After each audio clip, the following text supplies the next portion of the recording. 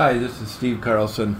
I am talking to you today, as I often do, about raising breast cancer treatment awareness that we are throwing women off of the cliff, leaving them without breast cancer treatment coverage, which means we degrade the quality of their health care, and cancer does not mess around.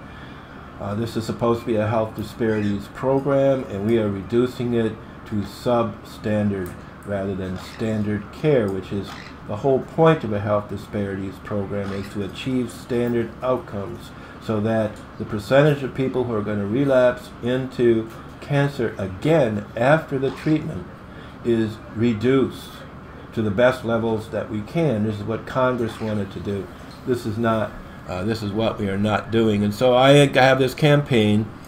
It's called Giant Steps and it's Giant Steps in Raising Breast Cancer Awareness. And this is John Coltrane. This is a remastered version. Uh, I have to kind of finagle with the uh, volume levels so that it will be effective.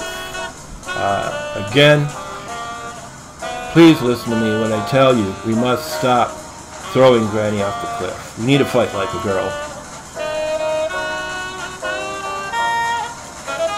Fight like a girl, can't you feel the rage? Age 65, whatever your age. Brown, red, yellow, black, or beige. Fight for the right to get on the page. Breast cancer help Minnesota sage. Beat Lori Swanson, got fight to wage. Have her on the stage, got to engage. Dozens of women killed, this is the rage.